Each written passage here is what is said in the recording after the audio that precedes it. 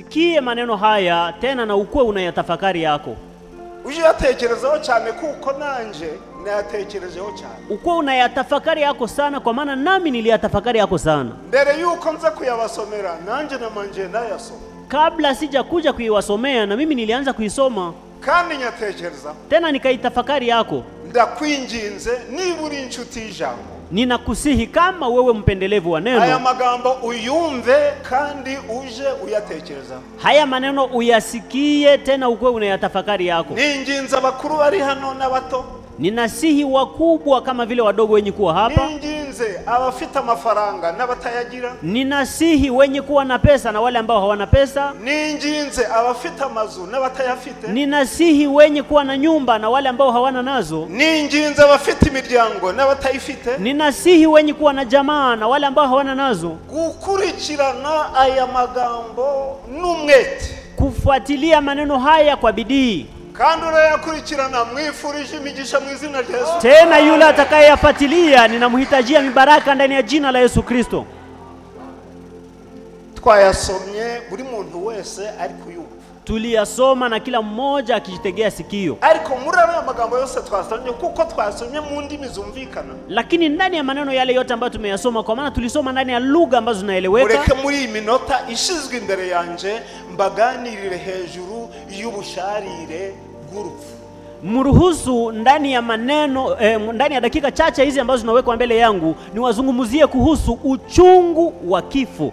niba hari ikintu gishariye Kama kuna kitu ambacho kina uchungu ni kifo. urupfu Kifo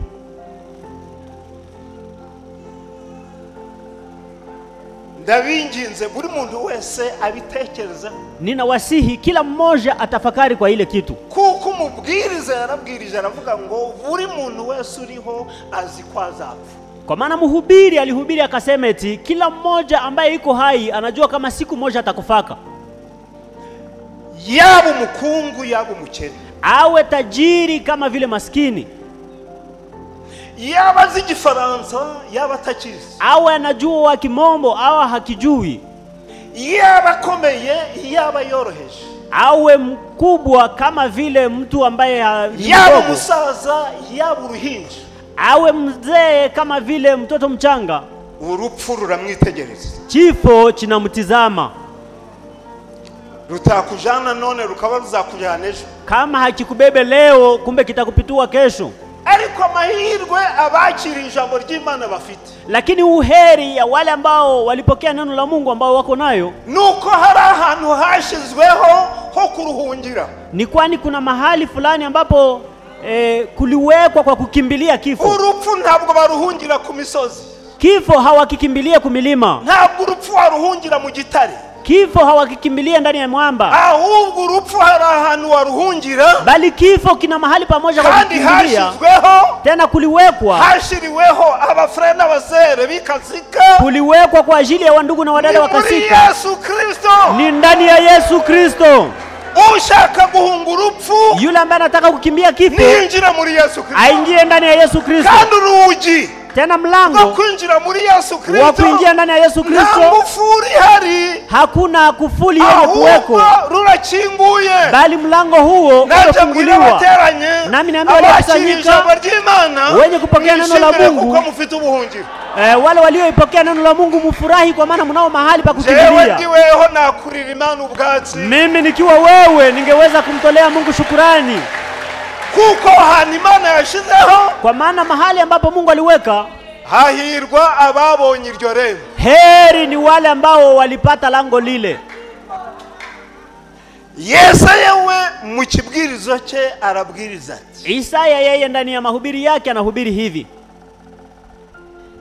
kuko urupfu imana izarumira bunguri kugeza iteka ryose. Eti kwani kifo Mungu ataweza kukimeza lote mpaka milele. nubwo waba urapfa nimugoroba ushimira imana. Hata kama ungekuwa wakukufa jioni, umshukuru kuko Mungu, urwo rupfu rurakujana. Kwa maana ile kifo ambayo ingekubeba urubure eh, muda itafika utaikosa, kuko dufite uwarunesheje kwa maana tuna yule aliyeshinda kifo, ariho. Tena ahadi zenye kuweko ni kwani atameza hiyo mauti lote. Na Paulo we pawulo mu kibwiriza cye bali paulo yeye ndani ya mahubiri yake avuga ko hari igihe tuzaruhiricisha ikirenge yeye anasema kuna wakati ambapo tutaifundu- tuzagenda tutaipindua kwa teke. Tutaenda tukiipiga kipasi. Kandi abazarutera igipasi ni bande tena wale ambao wataipiga teke ni wanani? Ni wale ambao mungu aliwatosha ndani ya dhambi akawaweka ndani ya neno lake. Yule Mungu aliyetutosha kule. shukurani na utukufu vimrudilie. Tangu sasa mpaka milele yote.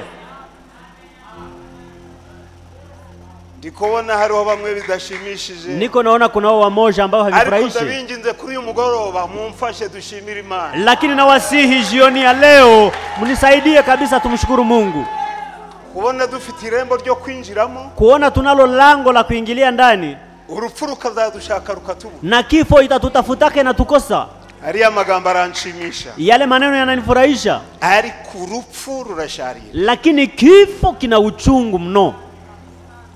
Uzi ubusharire bw'urupfu ni uwigeze apfusha umwana w'imfura. Yule ambaye anajua uchungu wa kifo ama mauti ni yule ambaye aliwahi kumpoteza mzaliwa wake wa kwanza akaba ari we afite gusa akabona arapfuye. Na ni yule ndiye alikuwa naye pekee kisha naona anamwacha na kufa. Uzi ubusharire bw'urupfu ni uwapfushije se agapfusha nyina. Yule mwenye kujua uchungu wa kifo ni yule aliyefisha baba yake akafisha mama yake uzi ubusharire bw'urupfu ni uwapfushije umugabo yule anayejua uchungu wa kifo ni yule aliyefisha mume wake. Uzi ubusharire bw'urupfu ni uwapfushije umugore yule anayejua uchungu wa kifo ni yule aliyempoteza mke wake. Uzi ubusharire bw'urupfu ni uwapfushije umuperedikateri yule anayejua uchungu wa kifo ni yule ambaye alimpoteza mhubiri wake uzi ubusharire bw'urupfu inshuti ye. Yule anayejua uchungu wa kifo ni yule ambaye alipoteza rafiki yake. Ariko bibiri inavuze ngo ayo marira yose twarize. Lakini biblia inasema ile machozi yote tuliyoyalia azayahanagura atayapangusa nanje abwira abafurere n'abasere nami niambiwa ndugu na wadada warahuye n'ubwo busharire kama ulikutanaka na ile uchungu Muda utafika. na mungu atapanguza ile machozi yako. ese mwaba mwizeye ko icyo gihe kizagera je mnaamini kama muda ule utafika? Iyabivuze yabivuze niyo kwizerwa. Aliyevitema ni mwaminifu. na kuvitenda atavitenda. Amen haleluya urupfu. Kifo. Paulo aravuze ati paulo yalisema alisema keti umwanzi uzaheruka gukurwaho ni urupfu. eti adui atakayeondolewa wa mwisho ni mauti. Niwe mwanzi uzakurwaho nyuma. Huyo ndiye adui atakayeondolewa wa mwisho. Abanzi ba benshi bazakurwaho. Waadui wengi wataondolewa.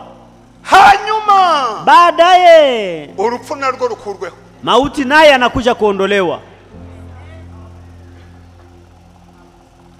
Nubona estoma ikurembesha ukiona estoma ama mfuko wa chakula inakutesa uje urayibwira ngo ukuwa unamwambia eti wamaze kumenya irembo ryo itazagusanga. ulishaka kujua, eh, ulishaka kujua lango ambayo haitakukutana kule nubona diyabete ikurembeje kuko diyabete ndayizi ukiona kisukari kinakutesa kwa maana kisukari ninakijua. Uje urayibwira ngo iherezo ryawe riri bugufi. Ukuwe unayambia eti mwisho wako ni karibu. Izi ndwara mubona ziriho. Hii magonjwa yote mnayoona frere buranamu we ntabwo azita ayo mazina. Ndugu branamu yeye hazite majina yale. Ahubwo avuga ko buri burwayi bwose ari dayimoni bali yeye anasema kila magonjwa yote ni pepo. Burya abadayimoni ni abanzi bacu kumbe mapepo ni adui wetu. Diyabete ni umwanzi. Kisukari ni pepo. Igituntu ni umwanzi. Na kifua kikuu ni magonjwa. ni umwanzi. Eh, mfuko wa chakula ni adui. kichwa ambacho kinakutatiza mpaka unataka kufa ni adui. lakini maadui wale wote muda utafika bwana atawapiga marufuko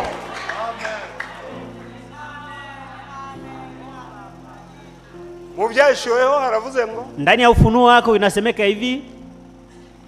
Hari amasaha azagera urupfu ruza nabo rwajanye ngo ngaba janye eti kuna saa ambazo zitafika ki, eh, ki, mauti ambayo inabebaka wenye nabebaka itafika wakati na walete eti njoo hao wenye nilibebaka n'inyanja nayo iza nawe yajanye ngo ngaba janye bahari vivyo hivyo nayo itatoa ripoti na kuwaleta ndio hawa niliowabeba n'ikuzimu havuge ngo abo janye ngabo. Hadeze vivyo hivyo nayo iseme ndiyo hawa niliowabeba.